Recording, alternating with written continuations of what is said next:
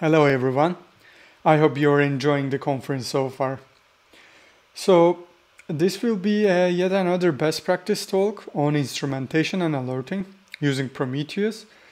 And I'm sure you have seen similar talks and perhaps uh, better ones. But anyhow, this will be my take on it. Uh, so, uh, I have couple, uh, collected a couple of best practices as a set of rules, and I'm gonna share those with you in this presentation.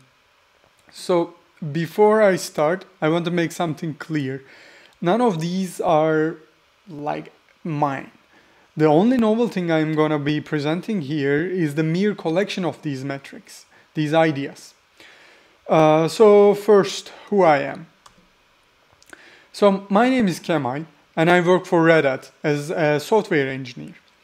I work at OpenShift Observability Platform team and in this team we are building a platform uh, to collect the observability signals like such as uh, metrics, logs, tracing and profiling. Uh, also, uh, as a team, we are we have SRE responsibilities, and meaningly we are on call uh, for the platform that we are building. Uh, so the rules that I'm going to share with you today, we are actually applying that in our daily lives on production systems. Uh, I'm also a Thanos maintainer and recently started to contribute to Prometheus. Uh, yeah, achievement unlocked for me. Uh, besides the observability and monitoring topics, I am also passionate about distributed systems and databases. And by the way, in this picture, I'm on vacation and like normally I don't look that much happy. So let's start. So what is Zen? Uh, when you check the dictionary, or in this case the Wikipedia, you get a definition. So Zen emphasizes a rigorous, self-restrained meditation practice, insight into the nature of the mind and nature of the things, and the personal expression of these insights daily life, especially for the benefit of others. That's the formal definition. So from this formal definition to use in our context, I have derived a simpler one. A Zen is a collection of insights gathered from the daily life uh, to benefit others. So I'm sure you have heard similar Zen ideas before. So in this talk, I'm gonna try to come up with a set of rules to fulfill this definition. The first and probably the most uh, popular of Zens in software systems is the Zen of Python. It's uh, created 20 years ago uh, as a Python enhancement proposal, PEP 20 I believe, by Tim Peters. In this document, he captured the engineering values behind Python in some humorous way. You can access these. Uh, you can access these through the website or through the Python interpreter. There is the Easter egg in Python interpreter.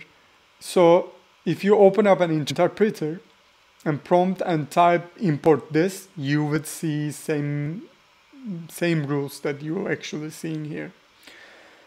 So we also have similar initiatives in Go as well, right? So uh, which in this case is called Go Proverbs. Back in 2015, uh, Rob Pike has created these proverbs for a legendary talk that he gave in Gopherfest. So these rules, uh, they serve more or less the same purpose as Zen, However, proverbs are a little bit different than uh, Zen of Python rules. So what is a proverb? What makes it different? A proverb by definition is a short well-known pithy saying stating a general truth. So in our context, it is a pithy saying that designed to reveal a deeper truth about the design of the language. So even though practically they are similar, they serve slightly different purposes. So proverbs are revealing intentions behind the design of Go. They require deeper understanding of the language. So in this sense, they are not the same as the rules in the Zen of Python, which is which they depend on the practical knowledge, practical usages of the language. And so luckily for us, now we also have the Zen of Go. Dave Cheney gave this great talk about the Zen of Go at GopherCon Israel this year. He aimed to create a set of rules to convey the engineering values behind the Go, and he wanted them to be more beginner friendly. So in his talk, he also thinks about the ways to communicate these rules, right? So the life cycle of these rules. So he asked the questions like, how do we teach them? How do we enforce them? How do we evolve them?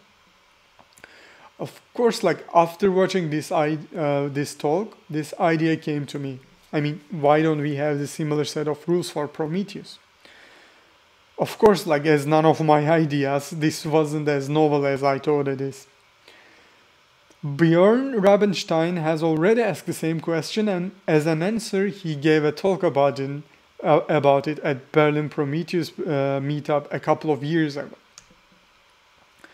Bjorn in this talk uh, told that he had the idea after he watched the talk by Rob Pike and he had been collecting these proverbs for a while at the time that he gave this talk. So in that talk, he canonizes canonized five proverbs. So these uh, proverbs are goes like this: like instrument first, ask questions later. Counters are counters rule and gauges sucks. Uh, first rate, then aggregate. This sounds pretty nice. Labels are the new hierarchies, and if you can graph it, you can alert on it. They are simple, they are poetic, and they are beautifully state, uh, stated and catchy. For me, uh, these rules are closer to the Zen than the Proverbs. So I decided to build upon that. Also, in this talk, Bjorn jokes about he could be starting a tradition and someday somebody would add more rules and would build a website out of it. So here I am, delivering that promise and fulfilling that prediction. I give you the Zen of Prometheus. Following the path of Bjorn and inspired by Dave, Dave Cheney, I try to create a set of rules to help engineers to create like metrics and alerts for their services. And I also want uh, wanted them to be beginner friendly. So here they are. Bold ones are the proverbs, by the way, the colored ones. Uh, I wanted again these rules to be catchy and beginner friendly. So as my teammate Matthias you might know you might know him as metalmatze. Beautifully put, like these these rules should be explicit and concise enough to give the message in a conversation that you have in a conference hall later, which we don't uh, have many of those uh, anymore because of the COVID situation. Uh, but like the description was really catchy for me, and uh, that's what I aim for. So I'm not gonna go ahead and uh, read them one by one, uh, but for the rest of the talk, I'm gonna try to highlight a couple of those rules. I believe the most fundamental and the insightful ones. And the, for the rest, you can go to website and read about them. Also, like uh, Bjorn has already explained the one he has canonized in depth in his talk, so you better watch uh, watch it for those rules. Uh, that being said, I uh, can't just like start without repeating the first one that Bjorn uh, mentioned. Instrument first, ask questions later. So instrumentation is the key to understanding how our applications run and behave in action. So also like the, according to myths of Prometheus, Prometheus has started as an instrumentation library. So still like the emphasis on instrumentation first. Like this is the genesis claim uh, of Prometheus. So good software needs good instrumentation and it's not optional, it's just essential. So for that, uh, start focusing on instrumenting your applications first. So spread the metrics liberally to later on to ask the proper question to gather insight, insightful measurements from your systems. Yes, one of the most important rules. So measure what users actually care about. Do you really think your users care if your database servers are down? Do they care about whether your CPU is saturated? Just no, they care about what they experience. So they care about whether they can access the page that they have requested and whether they see the refresh result or not. So rather than thinking in terms of those, you should think in terms of latencies, availability, and error rates while instrumenting your services and think about how you would measure your user's experience. To do that, always let your SLOs guide your instrumentation. If you don't know where to begin from, you can just use known frameworks like such as RED, Use, or the four golden, golden signals that they mentioned in the SRE, famous SRE book. Another important rule, cardinality matters. So every unique set of labels create a new time series. Remember that. Use labels with care. Watch out what you actually put into those labels. Do not put any unique identifiers into labels. Things can get out of control pretty much easily. Again, remember labels are multiplicative and keep in mind that uh, you will have multiple labels on metrics, multiple target labels on your targets, and you will have multiple targets. So things could get out of control pretty quickly and nastily. And remember, when it comes to performance, it's almost always about one thing, and it's label cardinality. Yes, uh, this is actually, some of you may have realized, this is actually a meme.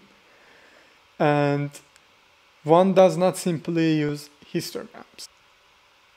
Histograms are powerful. With a single histogram metric, you can monitor your HTTP service you can build red dashboards out of it and meaningful alerts on top of those. However, histograms are not the easiest metric to use. Remember the Peter Parker principle. To ensure usefulness of your observations and correctness of your alerts, you have to come up with meaningful bucket layout. And creating a bucket layout for your histogram is a kind of an art form. So coming up with a bucket layout somewhat also conflicts with the first rule, instrument first and ask questions later. Because you need to have an idea about your latencies, your latency ranges before you even started to measure. So to circumvent this issue, you can take an iterative approach or you can use an event-based system to obtain your latency distributions and latency ranges first.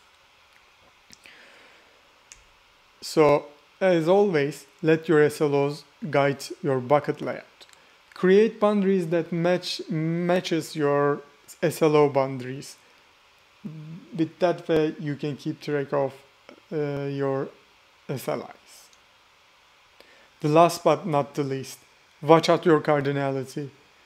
The histograms underneath are just counter with labels where bucket boundaries used as labels. So be precautious while adding additional labels to your histograms. Remember, labels are multiplicative and they can easily get out of control. This should be a remedy to one of the most common mistakes we see in the alert creation. So, symptom-based alerts for paging and cause-based for troubleshooting.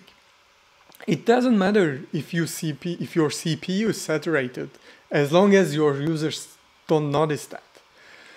Your paging alerts should be urgent, important, actionable, and real.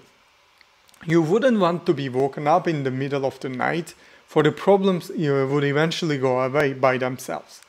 So Your alerts should represent either ongoing or imminent problems with your systems. And remember uh, what we talked about in the beginning of the talk about like measure what the users are actually care about. So for that, symptoms are a better way to capture problems more comprehensively and robustly with the less effort. So you should almost always be able to classify the problems into one of availability, latency, or correctness terms. So do that. That being said, include cause-based information in your alerts, but avoid alerting on them directly. Use them to troubleshoot your systems or debugging your problems in your production systems. As I told you at the beginning of the talk, I want this to be a community effort. I dream this would become an entry point for the beginners and the ones who seeks the best practices. So feel free to contribute, add and change the rules. Any types of contributions are welcome. With that, that's it from me. Thanks for listening.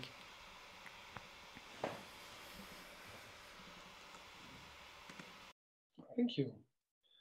I think we already have you as a panelist. Yes, we do. So are there any questions?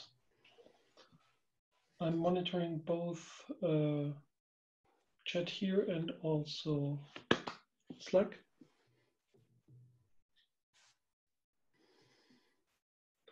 Okay, while we're waiting for questions, um, how how did your own perception of of the space change before and after um, thinking about uh, basically what was in the Prometheus ecosystem as as mantras as um, So, yeah, uh, I mean, before this, uh, there were like uh, official documentation pages uh, to collect uh, certain best practices. Uh, just like I wanted to be more uh, catchy. That's why like I come up with this like uh, proverbs or mantras. Actually, like most of them is coming from other sources. Uh, uh, so yeah, I mean, like I just want to start an effort to just create a nicer entry point and maybe something that everyone can just point out and start from there.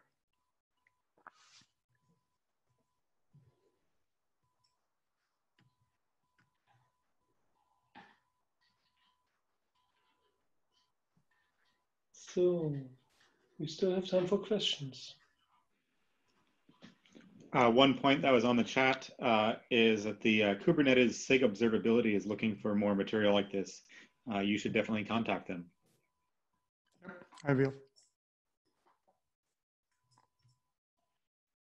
With my chair hat on, yes, that's actually a good point. Um, SIG observability will start creating um, best current practices documents.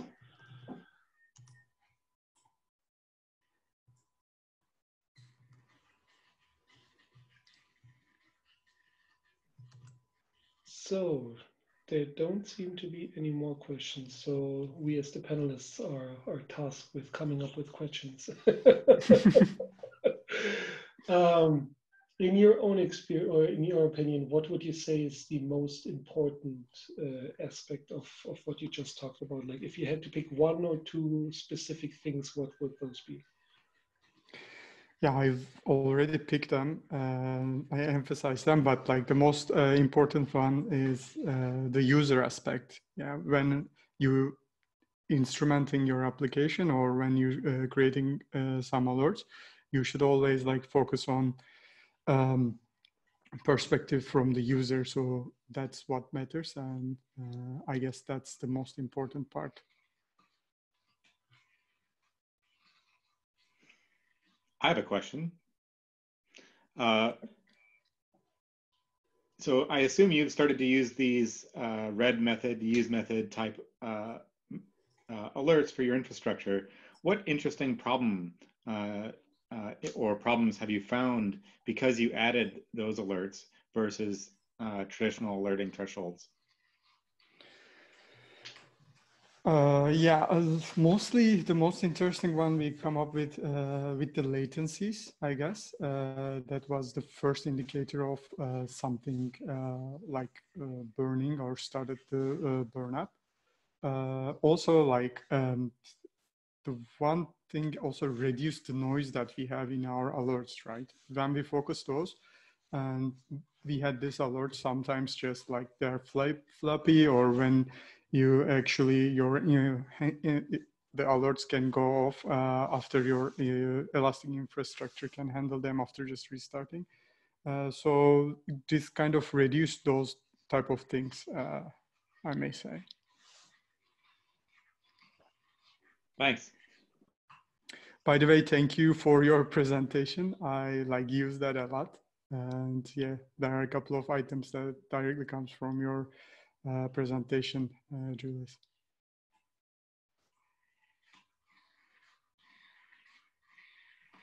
There's a question from the audience. Um, you said that the Zen of Prometheus is to help people understand best practices of Prometheus in an easy to understand way. What are other non-obvious documentation or other things which you have found helpful in aiding your understanding of the project? I mean, besides the best practices, I found like uh, I already mentioned uh, the monitoring, uh, uh the there is a document called my, my monitoring philosophy. Uh, also, the SRE, uh, the famous site reliability engineering books, they also helped. So I use those sources as well, and I already mentioned them as resources to build up this website.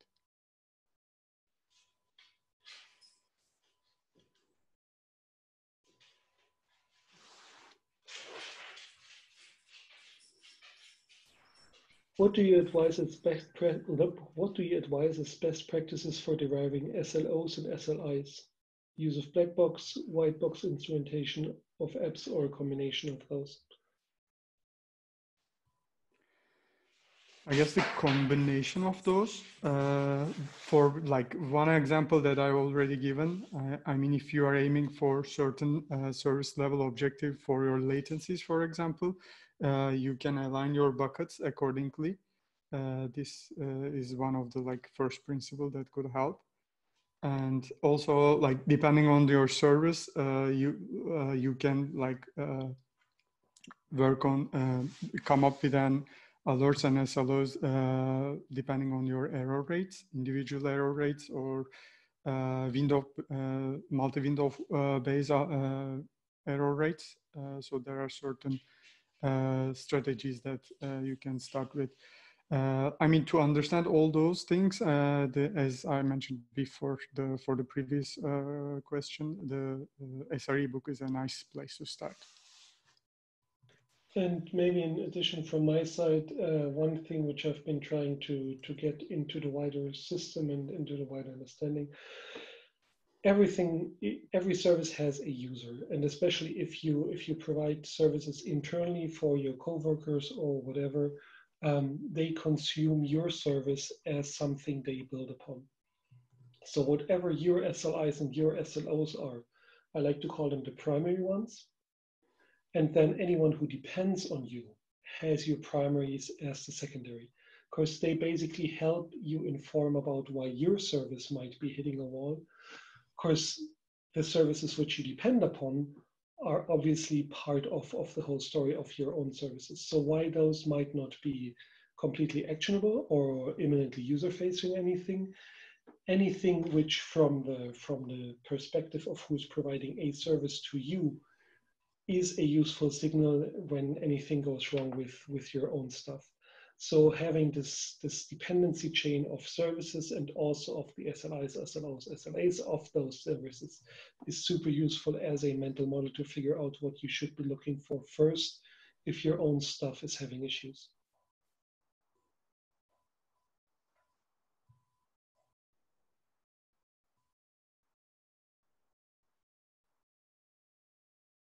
Think Matthias is a panelist, so he can make that point himself. But uh, ah, no, maybe he isn't yet.